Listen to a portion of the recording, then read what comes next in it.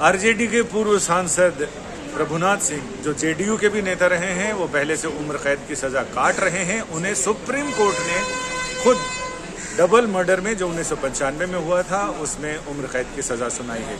हमारे साथ अभय कुमार हैं, याचिकाकर्ताओं के वकील। अभय जी ये सजा कितनी अहमियत रखती है? पूरे न्यायिक सिद्धांत को अगर हम बात करें। देखिए, जिस तरह का केस था, ये बहुत ही डिस्टर्बिंग केस था इस केस का। ये कुछ लोग गाँव से आते हैं, वोट डालने आते हैं, ये गुना सिंह और इनके साथ ही जाते हैं हम पूछते हैं किसको वोट दिया? उन्होंने बोला, मैंने चक छाप को वोट दिया, वैसे जनता दल का।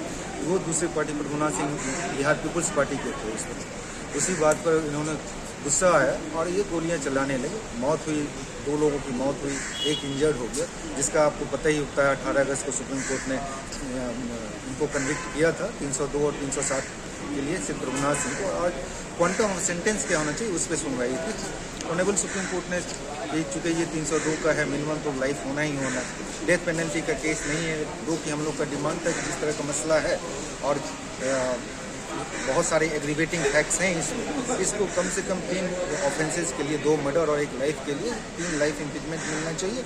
और कोई रिमिशन या कोई किसी भी तरह के एमनेस्टी उनको नहीं मिलना चाहिए। और इस तरह का मसला कमनानंदा में 2005 के सुप्रीम कोर्ट जजमेंट में और बहुत सारे जजमेंट में किया गया था। लेकिन उन्होंने सुप्रीम कोर्ट ने चूँकि उनका उम्र सत्तर साल है तो एक लाइफ का मतलब कम से कम चौदह साल होना ही होना, ऐसे लाइफ का मतलब होता है लाइफ टिल डेथ जब तक आप जेल में तब तक। लेकिन अगर रिमिशन देते हुए तो चौदह साल से पहले नहीं दे सकते। तो मेरे हिसाब से जहाँ तक लीगल पॉइंट ऑफ़ व्यू ये है, दो कोर्ट को छोड़ने के बाद ऑनरेबल सुप्रीम कोर्ट करे और इस तरह वन ऑफ़ द रेयरेस्ट है इस तरह का मसला सुप्रीम कोर्ट में नहीं थी रिमिशन के बाद आपने उठाई भी थी इस पर कोर्ट ने कुछ टिप्पणी की थी और हाँ हाँ कोर्ट ने रिमिशन की बात जब मैंने उठाई थी तो नो रिमिशन क्योंकि इस तरह मसले में होना है क्योंकि अब डेथ पेनल्टी का केस नहीं बनता है लेकिन रिमिशन नहीं देना चाहिए क्योंकि आजकल आजकल क्या कानून में व्यवस्था है कि चौदह साल के बाद प्री मेच्योर रिलीज़ कर सकते हैं अगर गुड कंडक्ट का हिसाब हो।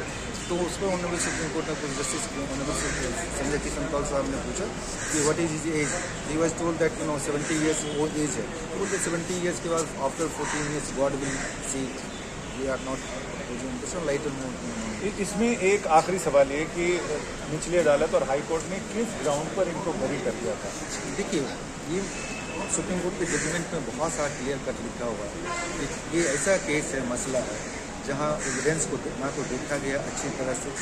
ट्रायल भी कंडक्ट नहीं किया। रूल ऑफ़ लॉ का इंस्पेक्टिंग जज का कमेंट था हाईकोर्ट का, कि बस आज इस इस तरह के केसेस में कोर्ट ट्रायल पे होता है। ना कि ये एक्यूज ट्रायल पर ये कोर्ट ट्रायल पर है, क्योंकि गवाहों को अच्छी तरह से लाने नहीं दिया। जो गवाह दे रहे थे वो सारे के सारे मोस्टली हॉस्टाइल हो गए थे। तो दोनों कोर्टों को लगा कि कोई एविडेंस नहीं जबकि भी सुप्रीम कोर्ट के पास जो हमारी कहानी थी कि नहीं, एक एविडेंस ये जो लालमुनि देवी है, उसके बयान को देखा जाए एफ़ आई को पढ़ा जाए और बाकी सर्कम से देखा जाए, जो पहले हेबियस कॉर्पस में जजमेंट था, जो इंस्पेक्टिंग था, उसका नोट लिया जाए जुडिशल नोट लिया जाए और उस कंडीशन में ये वन ऑफ़ द केसेस ऐसा रेयर केस है, जिसमें कि ये सजा के लायक और सुप्रीम कोर्ट ने अपने फैसले में यानी सुप्रीम कोर्ट का फैसला इसलिए भी नायाब है, इसलिए भी सबसे अलग है क्योंकि इसमें सजा और सवाल दोनों उठाए गए हैं, दोनों तय किए हैं सुप्रीम कोर्ट ने। सजा प्रभुनाथ सिंह के लिए और सवाल निचली और हाई कोर्ट की कार्यवाही के ऊपर, जिसमें ट्रायल में कहाँ कहाँ खामियाँ थी, उन तमाम चीज़ों को कोर्ट ने रेखांकित किया।